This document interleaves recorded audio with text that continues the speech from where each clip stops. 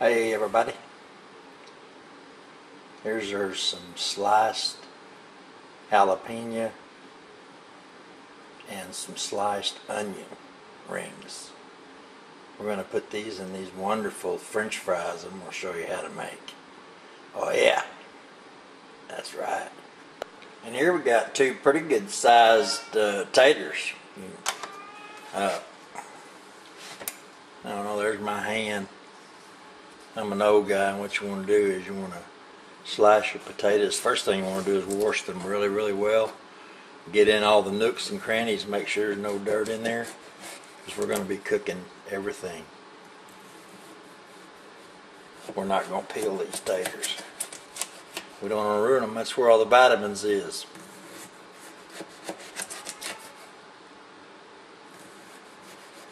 Pretty simple to do. You just have to be careful not to cut yourself. Especially if you live out in the boonies.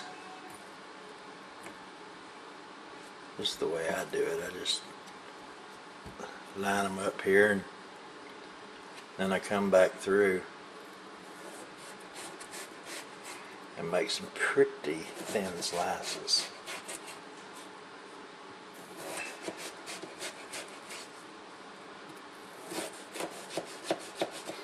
Course, the worst part about making french fries is slicing them up, you know.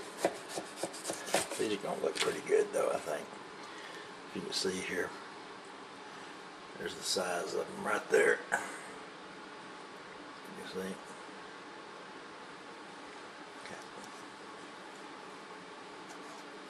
Okay, now here I have the spuds all cut up and I'm soaking them in a little water. Number one, it stops them from turning brown. Number two, it takes a little bit of the starch out of them. So what you want to do, you want to soak them like this until it's about time to uh, start them frying. You want to get your hot, your grease good, your grease good and hot, and then you want to rinse them, and then you got to dry them off with paper towel really well. Grease, hot oil does not mix. Okay. Okay, we're to the fryer now. I put a tater in there by itself and it looks like they're ready. Looks like the oil's ready too. That's what it looks like when it's ready. I don't know what temperature that is. So what you want to do is you want to put all your french fries in your oil and be real careful and make sure they're dried very well. Okay, now we have our french fries in. Had one escape me there. Okay, I'm going to stir them around make sure they're all, all doing well. They're frying away.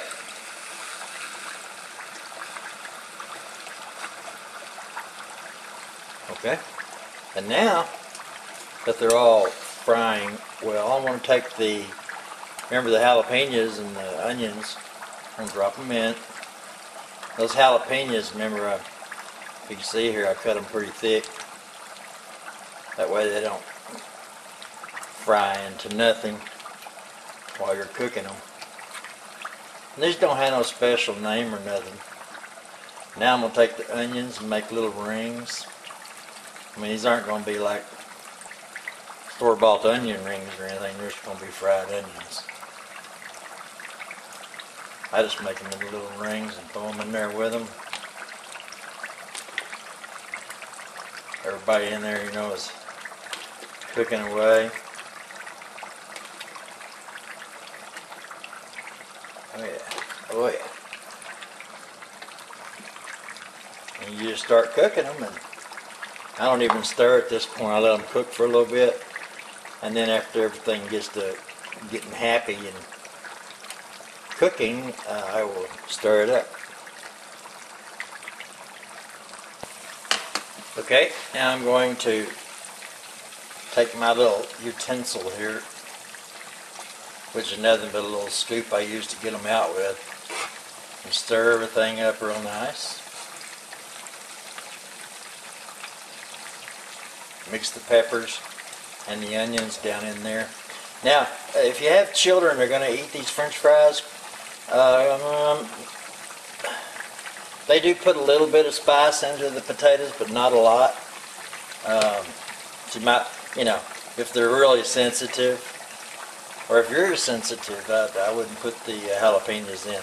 Okay, this is two jalapenos and about a half of one medium onion, is what it says. Just continue cooking. They are doing lovely. That's about the speed you want them right there. Perfect. Perfect cooking speed. Okay, we're getting to a pretty crucial part here. Uh, you see how this? You see how they're starting to float up a little bit?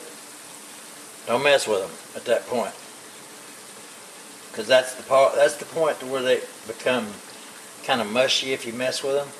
You just got to hang in there and let these suckers get crispy, because we're looking for crispy. Okay, now we have the potatoes, or french fries, or Texas fries as I call them. See how they're starting to get solid now? See this? Oh yeah. The onions are still nice, and the jalapenos aren't burned up either. So this is what you're looking for. Mostly everything in there is floating. Okay? These make some super delicious french fries here. You can make somebody your best friend with these, I promise you. Okay, now I'm going to plate them up. And we'll show you the results. There you have it, folks. Some delicious, delicious fries. And I'll tell you, these uh, jalapenos, they did put some heat into these, so with the kid thing, you want to be sure and maybe chill with the peppers. See y'all later. This is a little addition at the end. I want to show you how I, we're having hot dogs tonight, and this is how I make my hot dogs.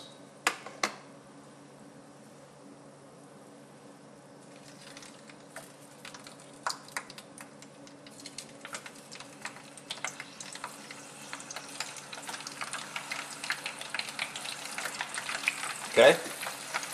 We dropped them right in that oil, right where them french fries were.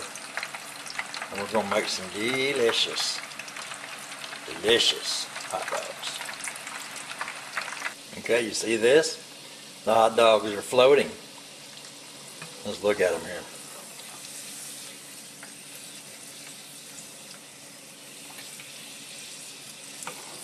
Whoops. Great. Ah, I dropped two. There's what they look like anyway. Well, they're good this way.